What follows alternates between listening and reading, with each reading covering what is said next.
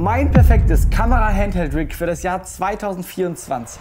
Hier ist es vor mir, genau so sieht's aus. Und mit der Frage, was das perfekte Rig für mich, beschäftige ich mich jetzt schon seit über drei Jahren. Und ich glaube, jetzt bin ich an dem Punkt, wo ich sagen kann, so ist es perfekt für mich. Und genau deswegen will ich euch in diesem Video zeigen, was genau ich verbaut habe, damit auch ihr aus meinen Erfahrungen lernen könnt oder euch euer perfektes Rig zusammenbauen könnt. Aber woraus besteht das Ganze denn jetzt? Kurz vorweg, ihr findet natürlich alle verwendeten Teile in der Videobeschreibung. Und nein, auch wenn man es vielleicht meinen könnte, das Video ist nicht gesponsert. Alle Dinge, die ich euch heute zeige, habe ich von meinem eigenen Geld gekauft. Und dementsprechend kriegt ihr auch meine absolut ehrliche Meinung. Und ich würde sagen, damit starten wir rein. Und damit ihr einen guten Eindruck bekommt, woraus das Ganze besteht, würde ich sagen, wir zerlegen das Ganze jetzt mal.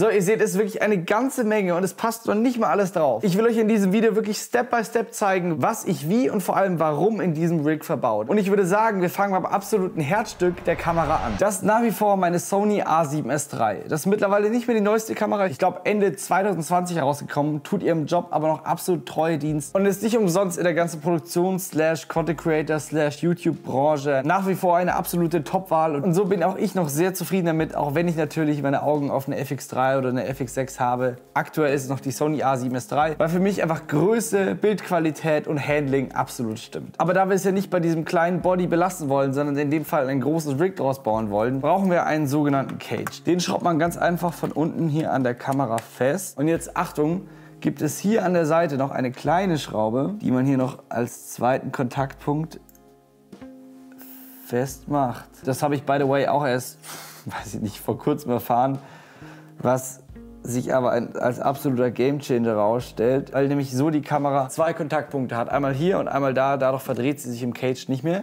Und ihr seht schon, auf einmal ist aus der kleinen, handlichen, süßen Kamera schon mal ein bisschen was Seriöseres geworden. In dem Fall ist der Cage von Smallrig und er sieht natürlich cool aus und bietet auch Schutz, aber am wichtigsten sind die ganzen Montagepunkte, was uns zum nächsten Step bringt. Um später unser ganzes Zubehör schnell und flexibel an- und abbauen zu können, gibt es diese sogenannten NATO-Schienen. Ihr seht schon, die haben hier eine bestimmte Form und das könnt ihr euch vorstellen wie einen sogenannten Schnellverschluss. In dem Fall montieren wir hier eine an die Seite.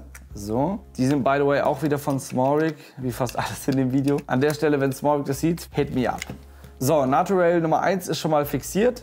Jetzt kommt noch Naturel Nummer 2, nämlich hier oben drauf. In dem Fall lässt sich hier auch alles immer sehr entspannt mit den Imbusschrauben äh, festschrauben. Nicht immer die gleiche Größe, aber da hilft es natürlich, irgendwie so ein Tool zu haben. In dem Fall ein absolutes No-Name-Tool, macht aber einen super Job. Okay, deswegen kann ich euch jedem empfehlen. So, ihr seht schon, Naturel oben, Naturel rechts und Naturel links, weil nämlich der Cage an der linken Seite auch eine Naturel schon verbaut hat. An der Stelle montieren wir auch noch diese AK Swiss Platte hier unten auf der Bodenseite. Ihr seht, die kann man ein bisschen exzentrisch verschrauben. Das heißt, zentral unter dem Body. So. Und jetzt können wir anfangen anzubauen. Wie zum Beispiel diesen Holzgriff hier. Ihr seht schon, wunderschön. Hier diese Aufnahme kommt euch vielleicht schon bekannt vor. Nämlich können wir diese jetzt ganz easy an unsere eben montierte NATO-Rail verschrauben. Zack. Und schon ist der Griff fertig. Das Coole an diesem Griff ist, das ist nicht nur ein sehr guter Holzgriff, sondern er hat auch diesen roten Knopf. Und das ist ein Aufnahme- und Startknopf. Das heißt, wenn wir hier auf der linken Seite dieses Kabel in den Micro-USB-Port stecken, können wir die Aufnahme später mit diesem roten Knopf starten und stoppen, ohne immer umgreifen zu müssen. Das kann ich euch sagen, absoluter Gamechanger und ist später im Produktionsworkflow wirklich sehr, sehr praktisch. Als nächstes hier kommt dieser Griff. In dem Fall ist der auch wieder von Smallrig und für alle, die eins und eins zusammenzählen können, passt er mit dieser Aufnahme perfekt oben auf die andere NATO-Schiene. Was bedeutet, wir haben hier schon mal einen sehr sicheren Fit und die Möglichkeit, die Kamera jetzt auch von oben zu halten. Aber dabei soll es nicht bleiben, nämlich wenn wir jetzt hier noch einen Monitor montieren wollen, bietet sich natürlich an, den hier vorne dran zu montieren. Dafür gibt es hier diesen Swivel Mount, heißt es glaube ich, auch wieder von Smallrig, wer hat das gedacht? Und der passt 1A hier vorne hin.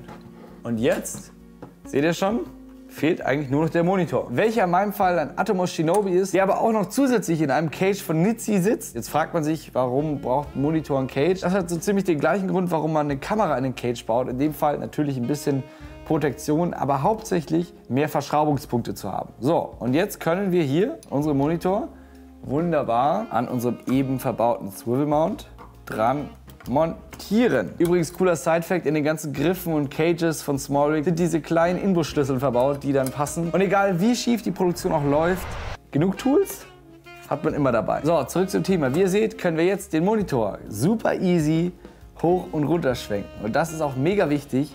Und wenn ich euch eins mit an die Hand geben darf, holt euch eine Monitorhalterung, die den Monitor zentriert. Was ich damit meine, diesen Monitor kann man jetzt immer hoch und runter schwenken, er wird sich aber nicht nach rechts und links oder irgendwie mit oder gegen den Uhrzeigersinn verdrehen.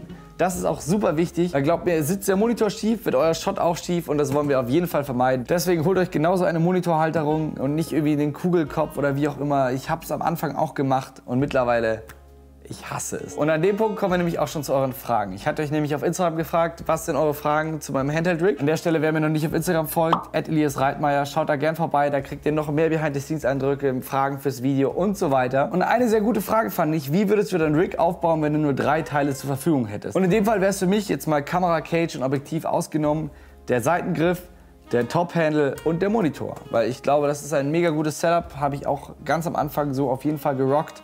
Und ich glaube, man hat genug Möglichkeiten, Kamera gut zu führen, hat auf jeden Fall einen externen Bildschirm, was natürlich auch extrem wichtig ist, um sein Bild besser zu sehen. Hat trotzdem gutes Handling, es sieht gut aus und äh, ich denke, genauso würde ich mein Setup wieder bauen, wenn ich nur drei Teile anbauen dürfte. Da es in diesem Video aber nicht nur um drei Anbauteile, sondern um mein perfektes Handheld-Kamera-Rig gehen soll, würde ich sagen, wir müssen jetzt ein wenig auffahren. Und dafür brauchen wir folgendes. Jedes große Rig braucht nämlich in irgendeiner Form eine Base. Und was dafür braucht, habe ich eigentlich hier in der Hand. Das ist in dem Fall auch wieder von Small Rig und ist eine sogenannte Rail Base. Nämlich kann man jetzt hier diese sogenannten Rods einfach reinsliden. Ihr seht schon. Gibt es übrigens auch in verschiedenen Materialien, Carbon, in dem Fall Alu, verschiedene Längen und so weiter. Darauf kommt jetzt hier diese AK Swiss Quick Release Mounting Plate, in dem Fall auch wieder von Small Rig. Wer hätte es gedacht? Und die passt hier sehr gut drauf. Auch festgeschraubt.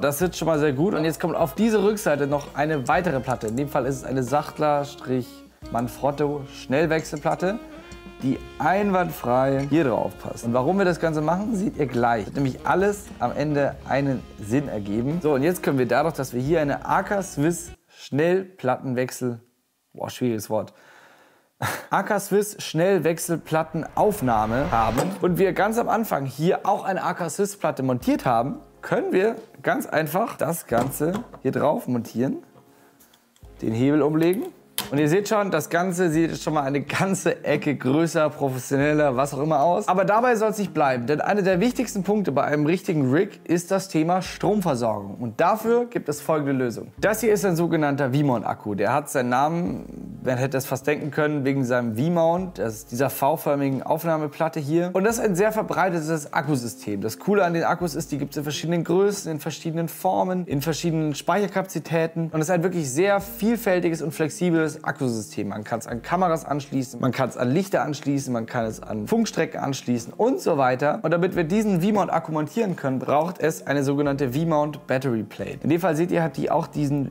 V-förmigen Ausschnitt und diese tollen Aufnahmen. Und diese Platte kann wunderbar hier auf unser Rod-System geslidet werden, festgeschraubt. Und jetzt können wir uns den V-Mount-Akku nehmen. Achtung, sehr geiler Sound jetzt.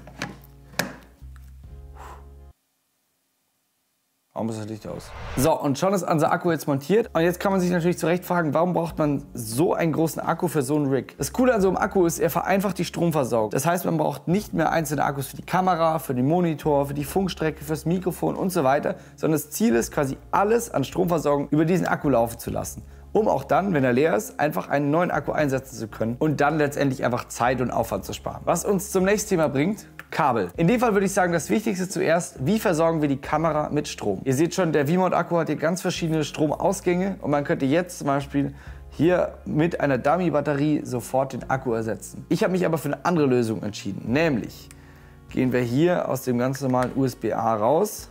So, und mit diesem USB-C-Kabel gehen wir jetzt hier in den USB-C-Port meiner Sony-Kamera. Licht geht auch schon an. Das heißt, die Kamera ist mit Strom versorgt und lädt auch noch den internen Akku nach. Man könnte jetzt auch die Kamera mit einer sogenannten Dummy-Batterie versorgen. Das heißt, es ist dann ein ja, Placebo-Akku, kann man fast sagen, der einfach direkt von dem V-Mount-Akku in die Kamera geht und den Akku ersetzt. Warum ich das aber nicht gemacht habe, ist, weil sollte während einer Aufnahme irgendwas mit der Stromversorgung nicht funktionieren, kann es sein, dass wenn die Kamera während der Aufnahme keinen Strom mehr bekommt, sie plötzlich ausgeht und die Aufnahme abgebrochen wird. Das will ich natürlich vermeiden. Das heißt, ich lade hier eigentlich immer nur konstant den Puffer nach und habe im absoluten Worst Case immer noch einen komplett vollen Kameraakku in der Kamera verbaut. Und jetzt kommen wir nämlich zur zweiten Frage. Wie versorgen wir den Monitor mit Strom? An der Stelle nehmen wir den Monitor auch nochmal ab, dann kann ich euch das nämlich besser zeigen. Der Atomos Shinobi hat wie die meisten Monitore eine Aufnahme für sogenannte NPF-Akkus. Das sind absolute Standard-Akkus, sehr günstig kann man hier super easy rein und raus sliden. Aber wie gesagt, wir wollen das Thema Stromversorgung ja vereinfachen. Das heißt,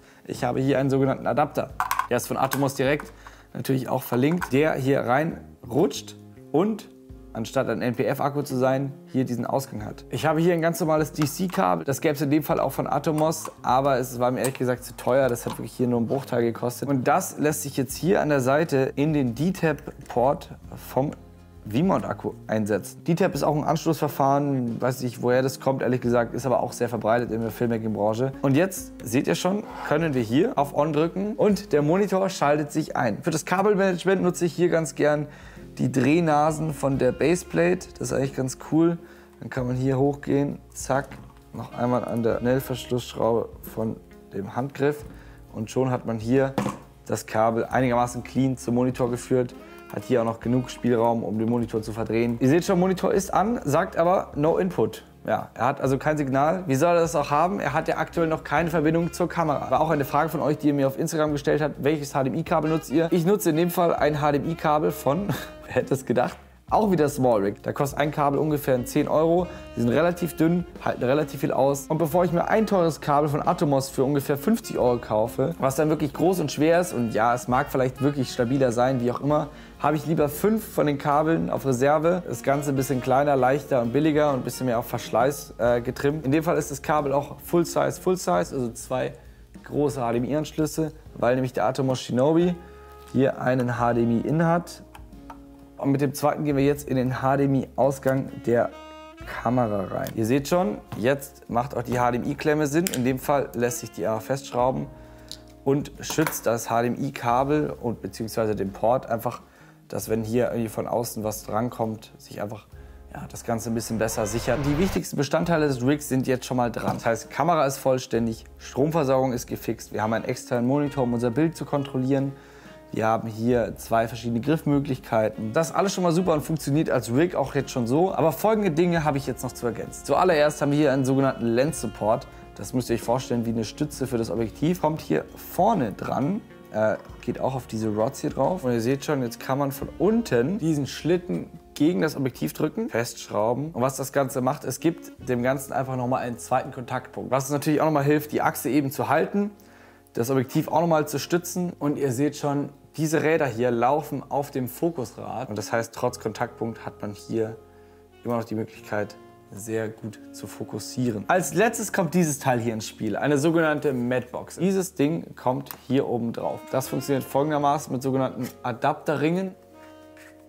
Und jetzt lässt sich diese Madbox hier draufsetzen, auch festschrauben und ihr seht schon, sitzt jetzt einwandfrei vorne vor unserem Objektiv. Aber wofür braucht man jetzt so eine Madbox? Das Ganze kommt nämlich aus dem Kino- und Filmbereich und gibt einem die Möglichkeit, bei richtigen Filmlinsen, also jetzt keinen Fotoobjektiven, wie es die sind, Filter verwenden zu können. Das heißt ND-Filter, Polarisationsfilter oder alles an Filtern wird quasi hier vorne eingespannt, könnte ich vorstellen wie ein Schlitten. Und zusätzlich gibt es dann hier diese sogenannten Doors, um quasi noch Reflexionen und Flares abzublocken. Sage ich euch ehrlich, benutzt die Madbox hauptsächlich wirklich als schnellen und universellen Objektivdeckel und natürlich, not gonna lie, dieses Ding sieht einfach geil aus, lässt das Rig nochmal deutlich größer und professioneller wirken, was natürlich sowohl beim Kunden gut ankommt, einem selber Spaß macht und ja, auch wenn man mittlerweile deswegen von den Profis aus der richtigen Film- und Cinema-Welt belächelt wird, mein Gott, so ist es halt. Lasst uns doch auch ein bisschen unser Cinema-Rig-Feeling haben. Ja, das ist zumindest meine Meinung. Jetzt ganz zum Schluss, ich hätte es fast vergessen, kommt hier oben noch mein letztes Attachment dran, nämlich von Peak Design die Möglichkeit, hier einen Sicherungsstrap dran zu machen. War zum Beispiel super wichtig, als wir mit dem Helikopter über Köln geflogen sind mit offenen Türen, sich hier einfach das Rig nochmal sichern zu können. Sehr, sehr, sehr cooles Feature. Und ja, an der Stelle muss ich sagen, das ist mein perfektes Handheld Setup für 2024. Es ist super flexibel, es ist sehr variabel, man kann unten direkt ins Stativ reingehen, man kann das Medium Setup rauslösen, wenn man es doch mal kleiner und kompakter braucht. Aber ich glaube, dass ich hiermit wirklich mein perfektes Setup gefunden habe, um für mich als Solo-Shooter unterwegs zu sein. Natürlich werde ich je nach Produktion das Ganze auch noch mal ein bisschen anpassen und das ist auch das Schöne an einem Rig, dass man eben sehr variabel direkt auf die Produktion zugeschnitten arbeiten kann. Jetzt würde mich auf jeden Fall auch noch interessieren, wie sieht euer Rig aus? Schickt mir da gerne DM, einen Kommentar, wie auch immer. Checkt mein Insta für mehr Behind the Scenes. Und bevor ich weiter drum quatsche, würde ich sagen, ich pack's direkt los und dann sehen wir uns beim nächsten Video. Es ist nämlich schon einiges geplant.